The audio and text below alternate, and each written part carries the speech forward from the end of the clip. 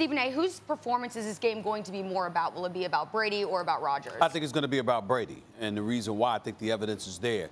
They're three and two on the season. The two worst games that Brady had are the two games they lost. The first game of the season and the one that they just lost last week. The reality of the situation is that outside of those two games where Tom Brady completed like 63 and 60% of his passes respectively, he completed about 65% of his passes or better in the three consecutive victories that they had. When this dude is clicking and he's and he looks like he's clicking and playing at an elite level, somehow, some way the Tampa Bay Buccaneers find a way to win, whether that's against Carolina, Denver, or the Los Angeles Chargers. We've got to take that into consideration. We also have to take we also have a license if we want to take for granted the greatness of Aaron Rodgers. What we're seeing from him is what we're seeing from him. We anticipate that we will see that from him. So you sort of anticipate what he's going to do. You know what he's going to do. The question is what kind of answers the Tampa Bay Buccaneers going to have in response to that. Chris Godwin has missed three of the five games this season. He's their playmaker at the wide receiver position. Mike Evans is a stud. I got it but basically he's open when he's not open.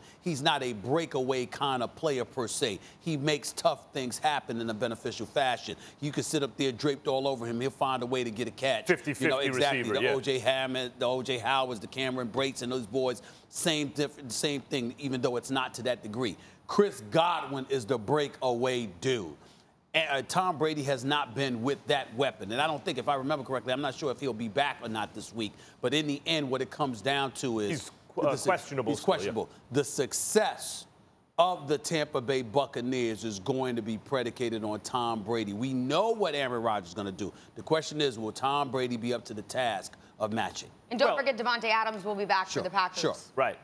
Um, well, the storyline you're absolutely right. You've identified the storyline heading into the game. But in terms of whose performance will actually determine the outcome of the game, Tom Brady, as usual, since he went down that ravine, Stephen A. The ravine. It Not looked cliff, like the a ravine. cliff from far away. But when I but got closer, ravine. it turns out it was just the ravine. you, you see those Beetlejuice eyes? I can't believe that he needs glasses. You talk about a cliff to a ravine. You, if anybody would know the Slight difference, between a cliff and a ravine But from far away, Stephen it A. would be you. It was, it was a mirage. But Those are binoculars right there. Go ahead. Tom Brady, as usual in the last couple of years, it's not that he can't make throws when you need him to. He's surrounded by offensive weapons, even Right. with the injuries. There's a couple of good Right. tight ends. He's going to have one of his stud receivers. Mm-hmm. He's riding a defense. He has a real good coach and a defense, and that's what the Bucs are about. The Bucs, if you had to say what's the signature of the Bucs so far this year, that defense pretty good. Aaron Rodgers is playing on a team, and Aaron Jones has been excellent. Yeah. But he's been playing on a team whose defense is closer to Seattle's than an elite defense. Mm-hmm. They're not only like a bend but not break. Nah, they bend and break. They give up points. Mm-hmm. That is not a stud kind of defense. It is incumbent upon Aaron Rodgers. Yes, he's getting Davante Adams back. Who knows if Davante Adams will be 100%, but he hasn't had him recently when he's finding receivers all over the field that no one has ever heard of. It's like if you replaced Aaron Rodgers with a, just any old quarterback, this Green Bay Packers team wouldn't be anything. We wouldn't be talking about the Packers now. This is about Aaron Rodgers. This is the Aaron Rodgers show. And LaFleur, look, when guys, the reason those no name receivers are making catches, it's not just that Rodgers has always been more accurate than Brady. He's always had a better arm, right? It's that he's scheming these guys open. A lot of open receivers. So I, I- I give credit where credit's due. LaFleur. It's always the quarterback and the coach. Mm-hmm. But in terms of the players on the field, Aaron Rodgers' play will determine the outcome of the game. He doesn't have anything else to rely on. His running back, but it's really Rodgers who's going to do it. If you replace him with someone else, the Packers are a maybe a 500 team, maybe not even. Aaron Rodgers, we're talking about the Super Bowl. Well, we've seen what the Tampa Bay Buccaneers are without Aaron, without Tom Brady. I mean, we know that. I mean, and Jameis. Jameis Winston giving us new meaning for 30 for 30. I mean, 30 interceptions and 30 touchdowns and all of this Uh-oh, poor other stuff. guy. He just new meaning. But, but but he'll be back. So he'll be back someday in the near future, and I think that he'll learn the error of his ways. But in the end, what it comes down to is this: what you're saying about Aaron Rodgers is a good point. But I'd piggyback off of your earlier point prior to that, Max, where you talked about this defense. It bends a lot. If you look at the Green Bay Packers and what they do, you know what? You can exploit their defense to some degree. It's not a horrible defense by any stretch of the imagination, but in the same breath, you can exploit them. And in the end, by the way, Davante Adams is not a no-name. He's not a scrub. He can ball. He can ball. Valdes-Scantling, he can ball. He's not a scrub. They've got some, they've got resumes that shows what they can bring to the table. So I got to pay attention to that. In the case of the Tampa Bay Buccaneers, we understand who Tom Brady is. And the bottom line is, is that when you look at Bruce Arians and the way he likes to air it out,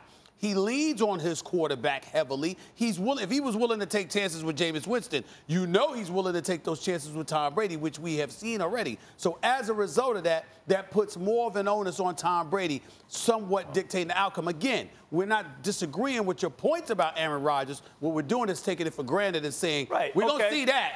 How are you going to respond? And this is Tom Brady as motivated as he could be. Sure. After the debacle last week and Nick Foles beating him again by making the plays when he had to to put his team in field goal range, and then Tom Brady not able to make the plays and making a mental error, thinking it's he had another down. After chewing out his And not offensive admitting it. line And not admitting it. admitting it afterwards, Not- not owning it. That was bad. That was And- bad. and- and chewing out his offensive line. This will be a highly motivated Tom Brady who looks like he will have Mike Evans. He will have two of his tight ends. So I get that. But that's what you're saying. We can take for granted Aaron Rodgers is going to be Superman. But if Tom Brady is Superman, they'll win. Oh, I, I think. I don't know. I don't know about that. I think if Tom Brady plays They like still Superman, lose. the Do Do you- Bucs will win. I, I'm just curious. Do you think because of the bye week that any of the momentum has been maybe paused a bit on the side of the Packers? No, no. I think the Packers will be ready. I'm anticipating that they'll win this game. All I'm saying is that for Tampa Bay to have any kind of chance, any kind of chance, Tom Brady got to show up because Aaron Rodgers is going to show up. Because even when he doesn't show up, he still looks like a guy that showed up. All right, guys. Highest QBR through four games in the history of QBRs. Thanks for watching E ESPN on YouTube. For live streaming sports and premium content, subscribe to E ESPN Plus.